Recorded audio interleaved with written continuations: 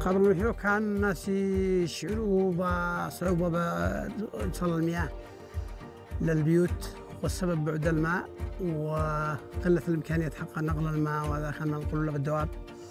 وبعدين كان ينقل الماء من آبار مكشوفة تعرض الناس للأمراض الإسهالات الكوليرا الأميبيا منظمة الهجرة الدولية.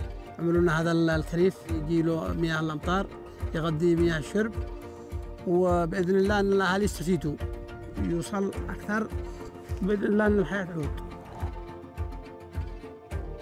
المشروع عبارة عن كريف ترابي بسعة تخزينية 21 ألف متر مكعب.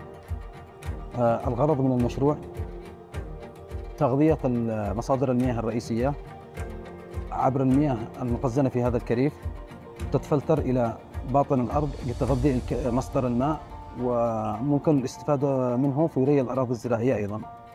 وذلك لأن سعة التخزينية كبيرة. إنه ننقل الماء من الكريف بإذن الله للقرب المجاورات ونعمل طماط نعمل خيار نعمل جزار نعمل كوبش نعمل هي مبلغ زراعة موسمية. لكن الآن بالكريف هذا ممكن نحن نعمل أيام الشتاء يعني عندما نزارع نستفيد أول مرة الأهالي يأكلوا خضار فواكه. في نفس الوقت نستطيع أن إحنا نسوق للأسواق ونبيع. بحيث إنه يوفر دخل للمواطن يستفيد. فسكان الأرياف اعتمادهم على الزراعة وعلى الأراضي الزراعية يعتبر مصدر دخلهم الرئيسي والمعيشي. تعميم هذه التجربة على بقية المناطق المحرومة من المياه يفيدها بشكل كبير ولا تحتاج إلى مواد وتكلفة عالية حيث أنها تقوم بتغذية مصادر المياه الرئيسية تدعم ري الأراضي الزراعية